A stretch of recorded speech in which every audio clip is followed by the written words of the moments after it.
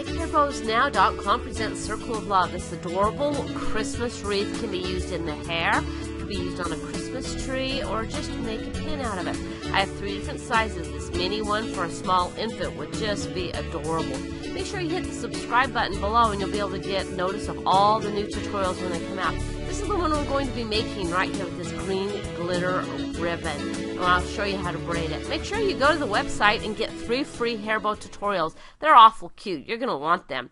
Okay, start with your three different, uh, you're going to have three different lengths. The short one goes in the middle. Uh, for dimensions and for the pattern, make sure you go to the link below and uh, once you've glued them together, the short one goes in the center. We're going to start to tie and braid this. So you start with the left side, left goes over the top, right goes underneath and up through the hole. If any of you guys have ever done macrame, you'll remember this knot. And then you reverse it. So now it's the right side's turn. So the right side goes over. Because this has got a wrong and a right side with my ribbon, I'm going to go kind of slow to keep the glitter side up and up through the hole. You can see how it's kind of almost like a figure four there, but you just bring it across the center ribbon. The center ribbon always stays set. It never moves. So now we'll go back to the left side over the top and the other side goes on the top and up through into the hole. So here we go. Thread it up into that big hole you got going right there.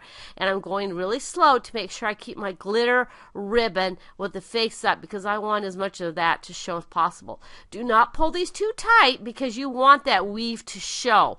Uh, Um, that's where the beauty of this is going to be at again over the top and thread it up through the hole. You can see how easy that knot is and the central one always just stays there just like it is. So keep on going until you have the whole thing done and then you're going to pull it down. Pull it down to stretch it out a little bit because you want those braids to show. You don't want it super tight. So pull it all the way down and now it's time to glue it. And again these patterns are all available uh, these PDFs for download at the links below with measurements and these wreath patterns. This is stiff felt, so you have a good backing. Not regular felt, stiff felt. You buy it right by the other regular craft felt. And so again, you're just going to hot glue this all the way around. And if you have to undo a few knots, go ahead and undo it. And it's going to meet at the top. So start with your hot glue right along the center. This is just low temperature hot glue. That way I don't burn myself so bad. Work it all the way around, right in the center, clear up to the side. Again, undo a few knots if you need to. And I like to leave it kind of flat because I I want it flat where I'm going to be putting my bow. So I'm going to trim it so that it'll just lap over the side. Uh, reheat, seal the end so it won't fray before you start. And also at this part, just hit it with a little flame and that way they won't fray again. And just make it look good. Fold it over the top of itself and just hot glue it on there. Now if you're using a wider ribbon like this red and green ribbon, you may have to fold it over on the back a little bit. I'll show you how to do that in just a sec. So again, just trim it off and now for your bow. I'm using a pink kind of really, really thin glitter ribbon here and you're just going to go back and forth three different times and you'll have a piece of wire cut 26 gauge wire and wrap it around the center. If you lose your grip you can always start over so don't worry about it and pull it around. This is the i think the hardest part of making the whole bow is right here just holding that pinch really really tight and then just cinch it down twist, twist, twist, twist, twist, cinch it down, and then trim it right down to the base of the wire, push it flat, and hot glue it on. And I've added some little beads here with E6000 adhesive because it's so much easier to use than the hot glue. You don't get it everywhere. Just with a pin, and look how adorable it looks. You can use it with beads or without. Either way, it's pretty dang cute.